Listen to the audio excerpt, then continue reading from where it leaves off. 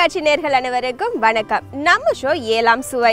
ஒவ்வொரு நாளும் நம்மளோட ஏழாம் சுவையில் ஒரு ஸ்பெஷல் கெஸ்ட் வந்து ஒவ்வொரு சூப்பரான ரெசிபி செஞ்சு காமிச்சிட்டு இருக்காங்க ஸோ அந்த வகையில் இன்னைக்கு ஒரு சூப்பர் கெஸ்ட் வந்திருக்காங்க. அவங்க என்ன மாதிரியான டிஷ் செஞ்சு காட்ட போகிறாங்க அப்படின்றத வாங்க பார்க்கலாம்.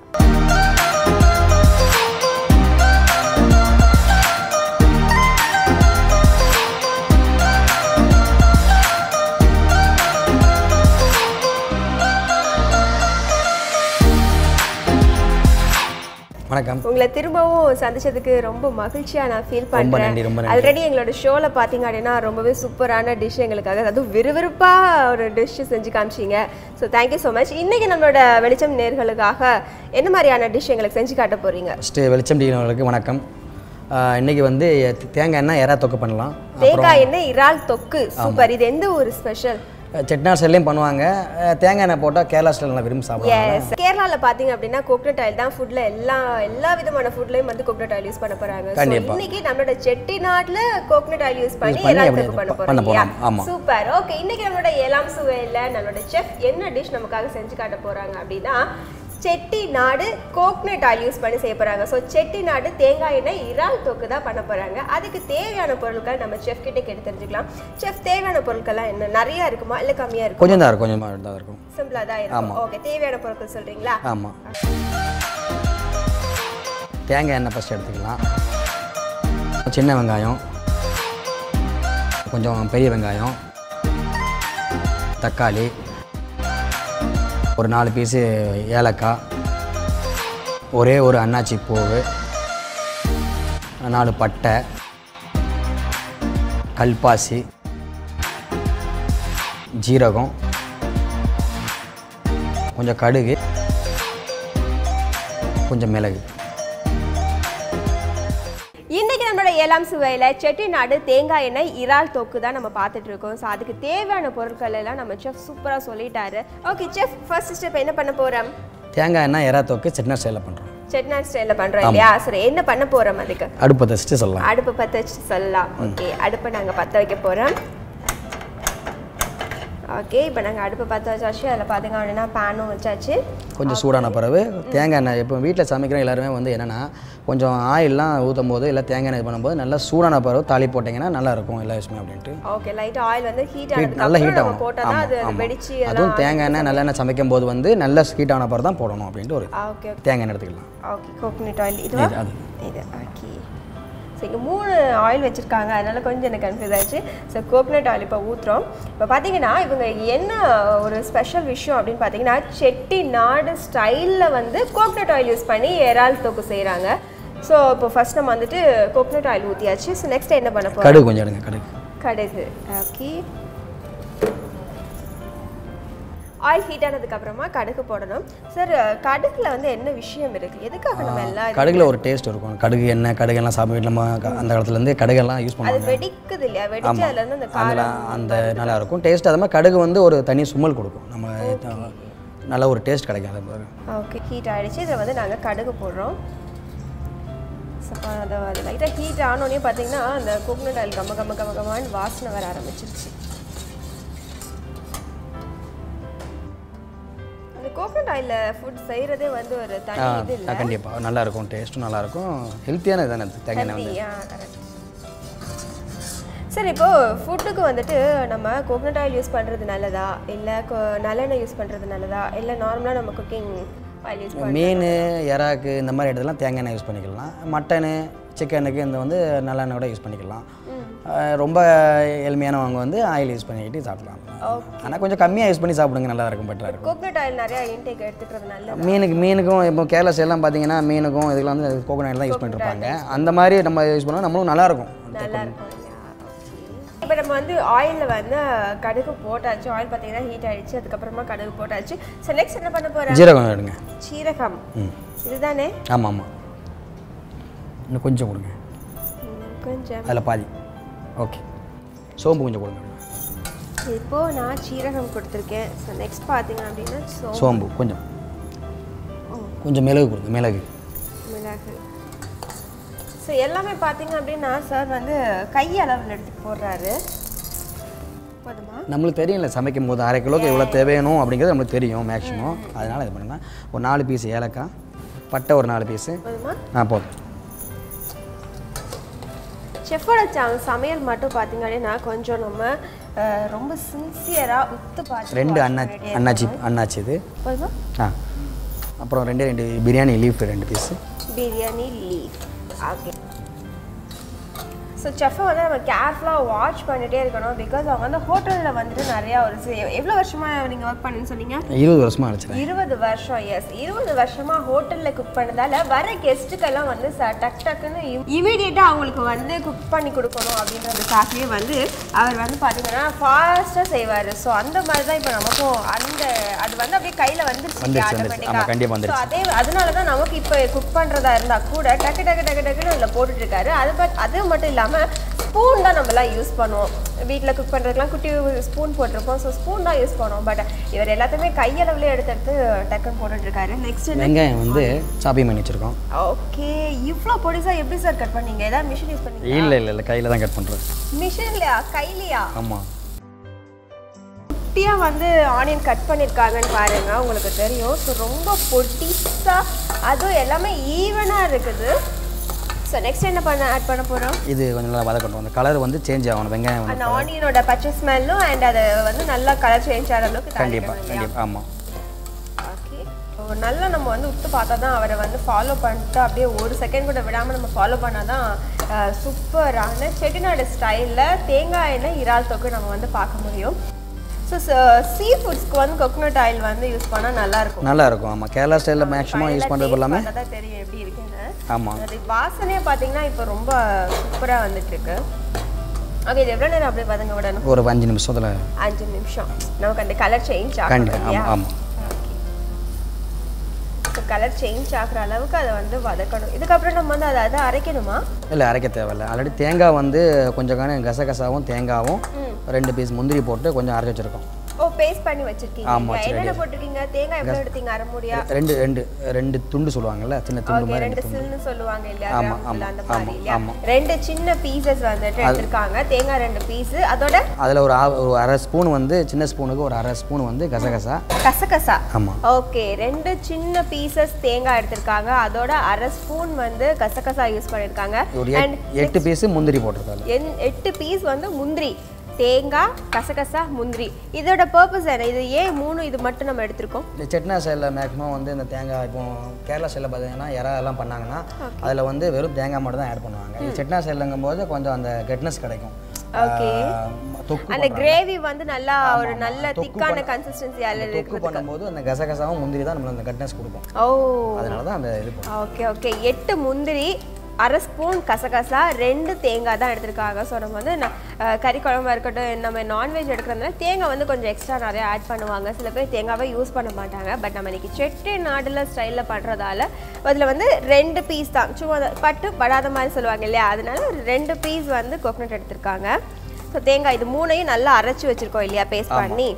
ஓகே இப்போ இதெல்லாம் ஓரளவு வள வதங்கிருச்சு இல்லையா? நெக்ஸ்ட் இதோட தக்காளி நம்ம ஆட் பண்ண போகிறோம் எஸ் இப்போ நாங்கள் வந்து தக்காளி வெங்காயம் போட்டு அதோட ஸ்மெல் போன போன அளவுக்கு வந்து நம்ம நல்லா வதக்கணும். கொஞ்சம். இப்போ மூணு வெங்காயம் போட்டிருந்தோம்னா ஒரு தக்காளினாலும் போதும். ஓகே.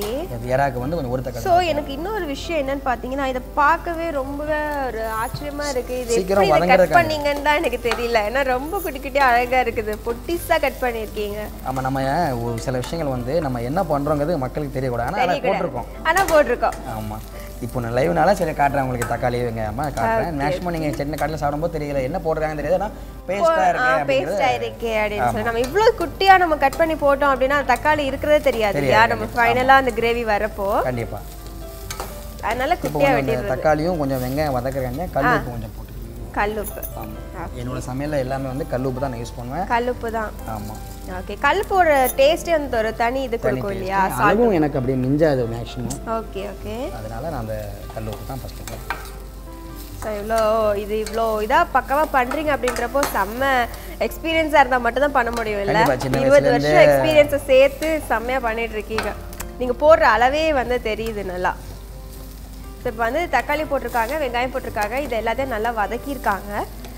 ஓகே வதக்கிட்டு அதோட ஸ்மெல் போகிற அளவுக்கு வந்து வெங்காயம் தக்காளி வதக்கின உடனே கொஞ்சம் மஞ்சள் பொடி யூஸ் பண்ணுவோம் மஞ்சள் தூள்.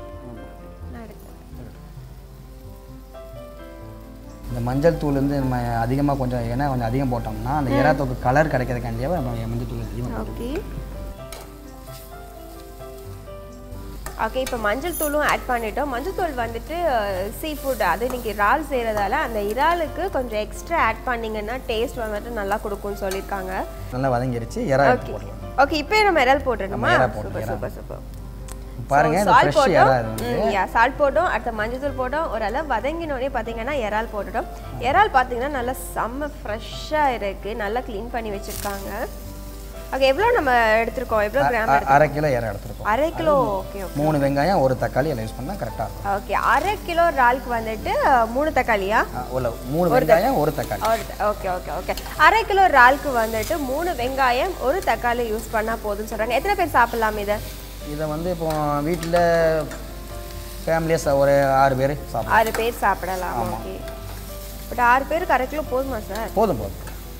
எறா மட்டும் சாப்பிட மாட்டாங்கல்ல? அது கூட வேற ஏதாவது வந்து ஆமாம் இறால வந்து ஓகே. ஆ, கொஞ்ச நேரம் அப்படியே வச்சுட்டோன்னு வச்சுக்கோங்களேன். அதில் உள்ள தண்ணியெல்லாம் இறங்கி கொஞ்சம் அப்படியே கொதிக்கிற மாதிரி வரும்.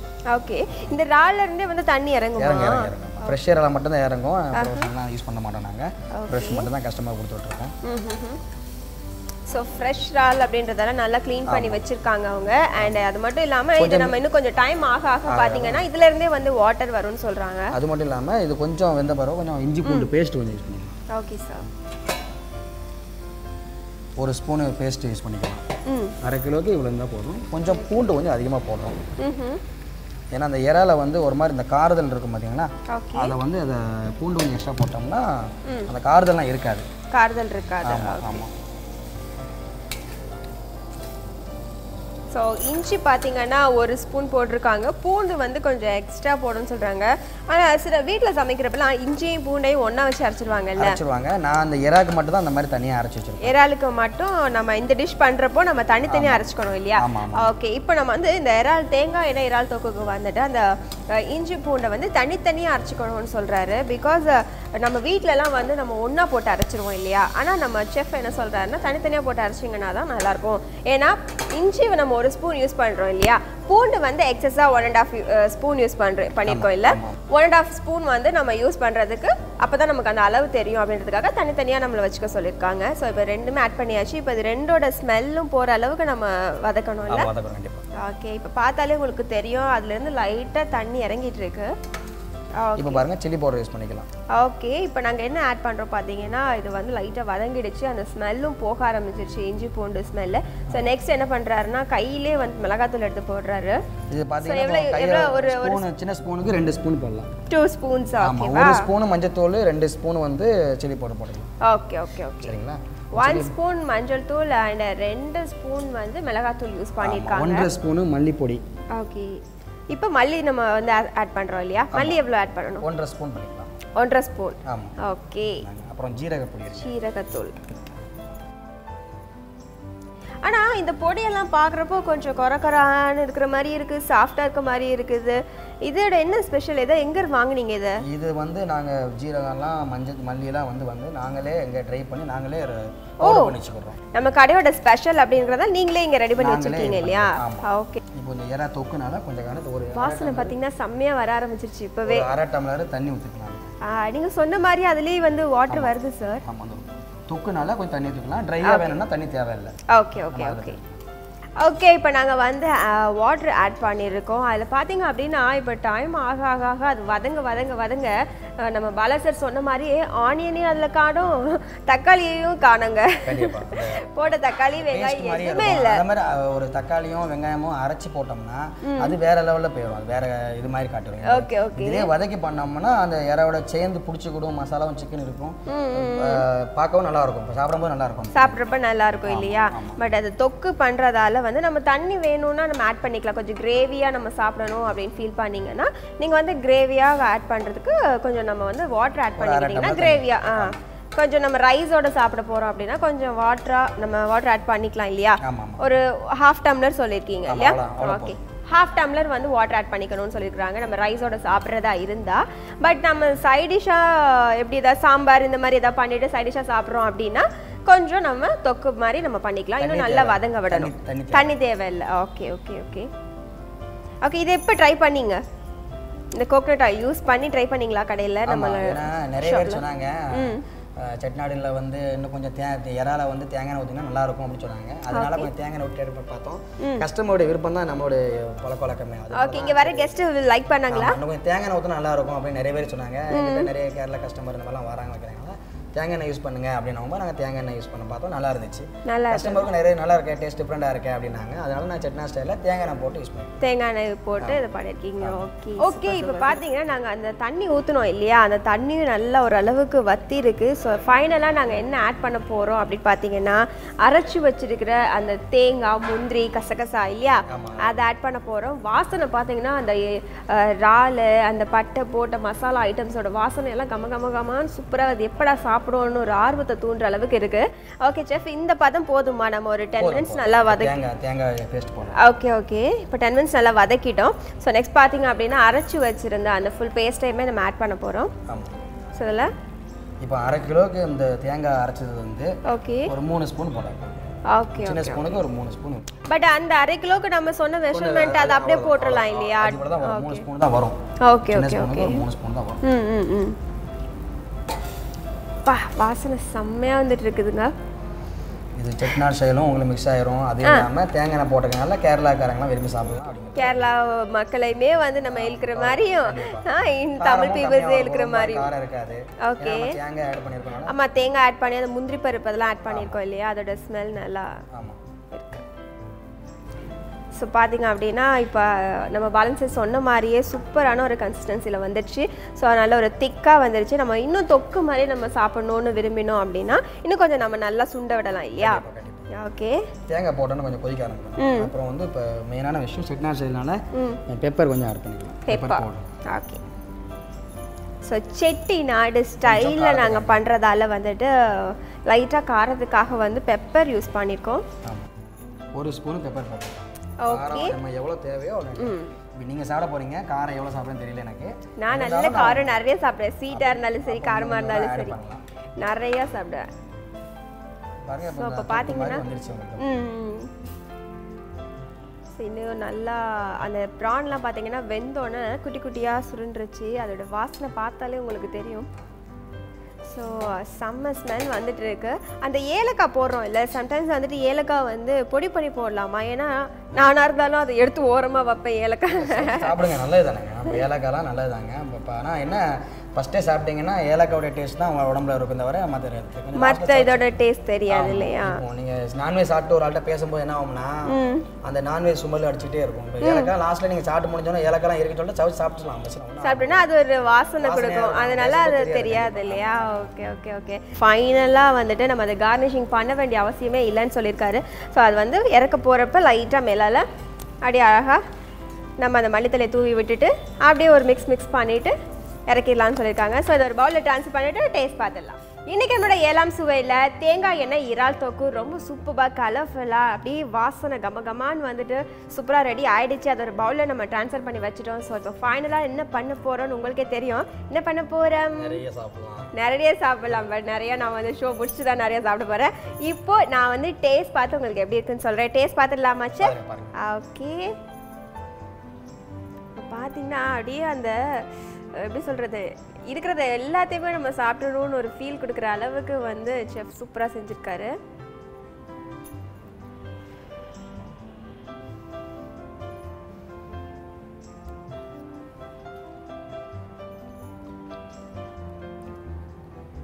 சான்ஸே இல்லை செஃப் செம்ம டேஸ்ட்டாக இருக்குது அந்த இறால் பார்த்தீங்கன்னா அப்படியே செம்ம சாஃப்டாக வந்து வெந்திருக்கு.